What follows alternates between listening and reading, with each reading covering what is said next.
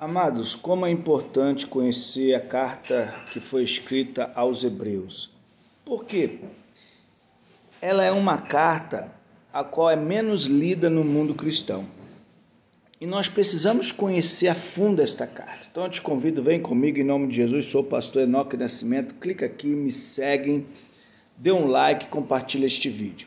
Vamos continuar nesta semana em Hebreus capítulo 9, versículo 18 Diz assim: pelo que nem a primeira aliança foi sancionada sem sangue. Então, esta igreja estava sendo tentada deixar a graça, estavam desertando e indo, de, indo voltando para a lei. Aí esse escritor escreve esta carta, envia para este povo, os hebreus, mostrando, confrontando tanto a antiga aliança com a nova, mostrando que a nova é superior, que ela veio para permanecer, ela veio para substituir a antiga aliança.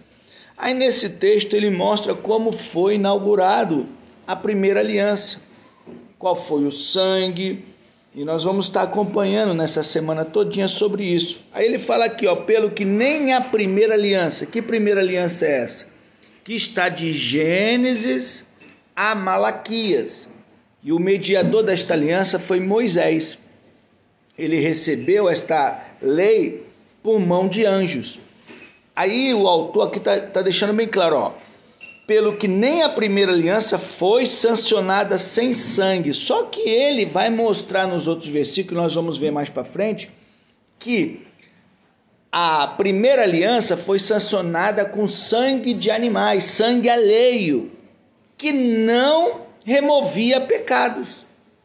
Na nova aliança, já, já a nova aliança ela foi sancionada com o sangue de Jesus Cristo, que ele veio, este sangue veio para remover os pecados definitivamente. Então, esta semana nós vamos estar vendo, acompanhando aqui esses textos maravilhosos do, do livro de Hebreus, falando sobre como foi, é, para quem foi dada esta primeira aliança, qual foi, de, qual, qual foi o povo que foi direcionado a esta primeira aliança, que tipo de sangue, aonde foi espargido este sangue. Então vamos estar acompanhando. Então clique aqui, amados, me segue, compartilha este vídeo em nome de Jesus e até o próximo vídeo. Beijo no coração, graça e paz e, e dê um like e me segue em nome de Jesus. Graça e paz, até o próximo vídeo.